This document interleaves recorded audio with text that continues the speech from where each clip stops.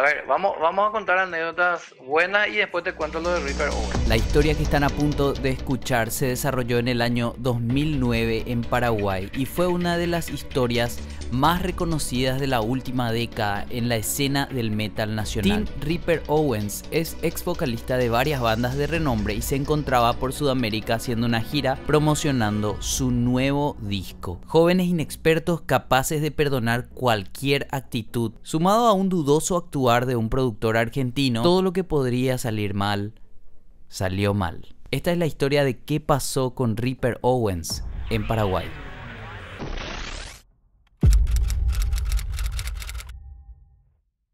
Voy a contar lo de Reaper porque eh, después me quiero sentir bien. Eh, nosotros, nosotros tuvimos contacto con un productor brasilero. Cuando eso era muy, muy, muy difícil. Estaba empezando Facebook.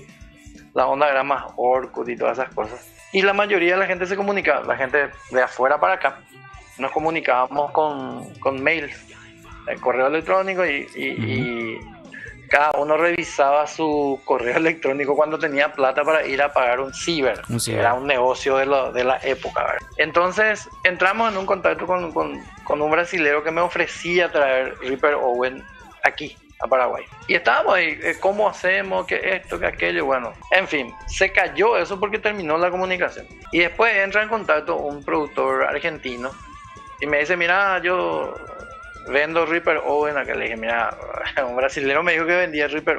Y me dice, no, eh, yo le iba a vender a él. Ah, bueno, entonces vos me vas a vender más barato. y me dice, bueno, voy a vender más barato, pero conseguíme la banda soporte de Reaper Owen. no. Entonces, más allá de lo económico, yo le dije si nosotros podíamos ser la banda soporte y me dice envíame material, qué sé yo. La bola esa de que él le mostró a Reaper y Reaper aceptó el, el En fin, nosotros quedamos como banda soporte de Reaper. Empezamos los contactos, me envía él el setlist que normalmente usa Reaper. Y, había como cuatro temas de su disco solista. Dos de ellos estaban en, en, en do, muy bajo. O sea, teníamos que usar otra guitarra para poder tocar esos temas y todos los temas estaban en re. El, resto había dos o tres temas que estaban en do, que eran de su disco. Resulta que cuando llegó el día X, nosotros teníamos como 500, 600 entradas vendidas. Eso es muchísimo para esa época. Sí, sí. Ya, estábamos, mira, ya, ya, estábamos cubiertos, digamos. Y llega el día de y, y, nada, no, no hay comunicación del tipo, no hay nada. Y me llama un, un, amigo mío que se llama Hugo Halford, que es conocido ahí. Sí, sí, Hugo Peralta. Hugo Peralta. Y me dice, che, ¿qué pasó? Porque acá en Facebook yo le tengo a Reaper y él dice que hay problemas con Paraguay. Se me cayó el mundo, ¿verdad? Ahí ya empiezo, yo empiezo a llamarle al tipo, empiezo a llamar, gasto toda mi línea baja, no sé qué puta, ¿verdad? Y, y, no logro dar con él. Hasta que a la siesta entra una llamada, atiendo y es el argentino. Me dice que perdió su bolso en una gira, no sé dónde, ¿verdad? Perdió su teléfono y entonces no se estaba comunicando, ¿verdad? Obviamente, eh, el muñeco tenía que saber que tenía que tener visa porque Reaper es yankee. Y eso lo teníamos que ver acá, pero él me tenía que enviar la, el escaneado de la visa y nosotros le veíamos acá para que entre. Claro. Entonces ya perdieron ya su vuelo, va a empezarlo así. El día, te estoy hablando del día antes del show. Hija de mil, qué desagradable. Ya perdieron el vuelo, entonces le digo, no, vamos a ver con una aerolínea, la, hicimos un quilombo, no, vamos a comprar los pasajes. Le compramos, le enviamos para la tarde. Y volvieron a perder el vuelo otra vez. Entonces le dije, bueno, vos tenés que ir a la embajada paraguaya a, gestionar, porque yo ya no te voy a gestionar acá porque ya se cerró. Tenés que ir vos. El tipo le dejan el hotel y se va al otro lado del, país a ver el, tema, Y consiguieron, pero ya, ya, ya digamos, entrada la noche y tomaron un, vuelo a las 11 de la noche.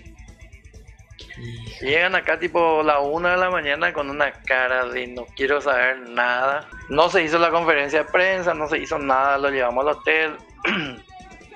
mala onda total. Al día siguiente teníamos un programa en Canal 13 que era un, cocinero que siempre nos daba espacio, que era Ángel Shape. Y el auto que le llevaba a Reaper llantó. Ay, ay, ay. Ah, eh, yo, yo que hago showcito y nomás me, boludo, yo ya me siento. A mí ya me da todo taquicardia. Entonces, tipo, en el canal los perros así llamándole al tipo al que le llevaba, que era un amigo nuestro muy conocido también, que, era el griego. Me dice, boludo, yo llanté y no tengo saldo para llamarte. Hijo de puta, Bueno, no, no vamos. Todo mal, todo mal. Llegamos tarde al programa también, ¿verdad? Le, puso muy poca onda al tipo. Bien, ya está. Vamos, vamos a, la tarde la prueba de sonido, ¿verdad? Y empezamos a tocar, no sé qué puta, y se sube el tipo. Y me dice, bueno, pongan más fuerte la guitarra, que más fuerte que se llevar. Estábamos ahí probando. Y me dice, ¿qué, qué están tocando? Digo, eh, este es tu tema, ¿verdad? Sí, pero no. Sí, pero están dos, ¿verdad? Y me dice, yo nunca canté en dos. Hijo de. Y trajimos otra guitarra y los temas que estaban en re, él decía que estaban mal también, que tenían que estar en otro tono. Y ahí era así, tipo, Dios mío, ¿qué, nos metimos, verdad? Y después hace él el, el set list, puño y letra. Y, yo veo que escribe así temas que nosotros no quitamos. Le digo a su manager, ojo que ese no sabemos. Ojo que ese no sabemos. Y se va el tipo, le dice, los chicos no saben ese. La cara del tipo. Y después me pone otro y quitó los tres temas suyos de su disco, que nosotros sí sabíamos. Y puso un tema de Ozzy, puso un tema de no sé quién, ¿verdad? O sea, ya tiró al, a cover nomás ya. Sí, sí. Y entonces nosotros había tres temas que no sabíamos, pero que no le dijimos. y nos fuimos a la casa de un socio a sacar un tema. Ahí nomás ya, ¿verdad? Sacamos los tres temas, más o menos teníamos idea y nos olvidamos de otros dos, tres que sabíamos. Entonces con los nervios estábamos así, che, y si suspendemos y nos matan los perros, vamos a perder plata, ¿verdad? Y no sé, y vamos a tocar. El show de continuar. O sea, me imagino también que mucho influía ya el mal rato, pues, viste, para tocar música. A lo mejor sí, sí, es que había buena onda, o a lo mejor y todo salía, ¿verdad? Pero la mala onda es lo que te pega tan no, fuerte. Súper, súper mal, súper mal. Entrábamos, tocamos y... Y no fluyó. No, por el segundo o tercer tema por ahí dice el tipo, eh, vamos a tocar tal tema, empezamos, estamos tocando, estamos tocando y paró el tema. Siguiente. a ese nivel ya era. Yo no sé realmente en qué tiempo terminó, pero para mí que duró 10 minutos, pues los otros dicen que tocamos como 30, 40 por ahí. Claro, pasó rapidísimo. terminó eso, pero era así, tipo, no le quiero ver a este tipo en mi vida, ¿entendés? Yo le tenía que llevar al hotel, le tenía que llevar al aeropuerto otra vez, un, tema, una, una de las peores, no una de las peores, fue la peor experiencia de Querube y de por ahí nunca se supo también, porque nosotros nunca sacamos esto a luz, o sea... Por eso quería preguntarte, porque yo, yo sabía que que algo salió mal, o sea, yo, salía, yo sabía que salió mal. Realmente fue culpa nuestra también, no, no, le vamos a quitar la nalga a la jeringa porque fuimos muy, muy permisivos desde el vamos, desde que no hay banda, pero esto, desde que el tipo perdió su bolsón, que nosotros no tenemos la culpa de eso y perdió, perdió la y todo eso. Todas esas cosas, ¿no? ¿entendés? Y nosotros asumimos eso como un error de producción nuestro. Y ahí ya fuimos, ya, ya, ya estábamos, ya entramos perdiendo, digamos, el partido y, por esas ganas de querer tocar y no sé, no sé qué es lo que teníamos, éramos... Hoy en día lo cortamos, pero ahí en seco. Claro, ustedes como fans también, eh, también no querían ponerse ante él, ¿verdad? Sí. Y, sabes que rescato que ustedes tampoco no salieron a, excusarse con los perros, ¿entendés? No, no. Alguno que otro quizás sabía la historia, pero ustedes no salieron a, a decir, eche los perros, nosotros al final, o sea, no quisieron hacer no quisieron tampoco lavarse las manos, asumieron nomás la culpa y bueno, salió mal. Se notó que, que, que, algo andaba mal. Eso es lo que la mayoría del, del público nos dijo, que algo, algo no sonaba. O sea, que Querubes normalmente no toca así de mal. Tú por eso, o sea... O sea, no, no, no, creo no solemos pegarle tan mal a todos los temas.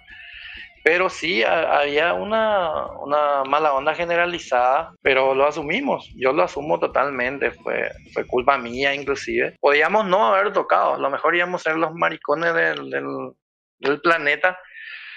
y, posiblemente íbamos a ser escrachados por el, por el hecho de no tocar y tenerlo acá Reaper, ¿verdad? Al, al mismo tiempo íbamos a ser tipo noticia internacional por no realizar el evento teniéndolo acá, porque no sabíamos, porque qué iba a pasar el día de mañana, a lo mejor no viene nunca más, qué sé yo, ¿verdad? Claro, o sea, ustedes estaban entre la espada y la pared, así literalmente. Así mismo, así mismo, o sea, toditas las opciones teníamos que resolver ahí en, en, media hora. Siendo jóvenes inexpertos, no... No teníamos idea de lo que estábamos haciendo, no sabíamos... Qué locura. No, sabíamos cómo se movía la cosa. ¿Cómo se animaron? La idea de, de, que venga esa mañana, una mañana antes, a las 5 de la mañana salía su vuelo era justamente comer un asadito, estar juntos y ensayar. Íbamos a ensayar nosotros, íbamos a corregir cosas, íbamos, a lo mejor eso ya se veía, mira, este tema no sabemos, este tema sí, ¿por qué no tocamos este? Pero como no se dio todo eso y nos encontramos ahí en la prueba nomás ya. Em, claro, había eh, llegado muy sobre la hora. Todo muy loco. La música, la música dentro de todo, y vos sabes más que nadie que se trata de fluir con tu compañero, fluir con tu, con, la persona. y si eso no fluye, partiendo desde ahí, lo ya es difícil sonar bien. Mm, claro, que es totalmente cierto. Yo quería saber realmente qué pasó, ¿verdad? ¿Qué, qué fue lo que pasó? Y, y ahora que, que, entiendo y conozco la versión oficial, por así decirlo, si bien así vos mismo lo decís que ustedes no se quitan algunas culpas, podría decir que aprendieron algo, una lección muy importante. pero, pero totalmente. A partir de ahí empezamos a hacer Vos sabés que eso fue el 9 de octubre del 2009 y nosotros teníamos el 12 de diciembre un concierto con, con Timo Tolki. Con Timo Tolki. Y nadie se animaba a tocar con Timo Tolki. Nadie. O sea, le, les dio así Nosotros así, olvídate que nosotros vamos a tocar con ese señor, porque olvídate luego. Esa, esa situación, la verdad que no le deseo ni a mi peor enemigo. No, yo tampoco. Lo, lo que pasamos ahí se quedó muy marcado. Eh, ojalá nunca volvamos a pasar por esas cosas. Che, gracias por compartirme esta anécdota. La verdad que es yo creo algo que yo necesitaba saber y muchos, voy a hacer un clip lo de esto y muchos de los que están detrás de la pantalla también probablemente. Es una lección muy importante no solamente para ustedes sino que para todos luego y, y en parte hay que agradecerles por por a pesar de ser tan jóvenes y tan inexpertos y todo haberse animado a hacer una locura así, para mí no hay nada más rock and roll que eso. ¿eh? Claro, claro, claro. Por eso te digo, estábamos ahí entre, entre hacernos los cancheros y decir, no, que nosotros queremos que se nos respete. Y estaba la otra parte de decir, vamos a tocar igual y que pase lo que pase. Y a lo mejor sale bien. Sabíamos que iba a salir mal eso, no puede salir bien algo así.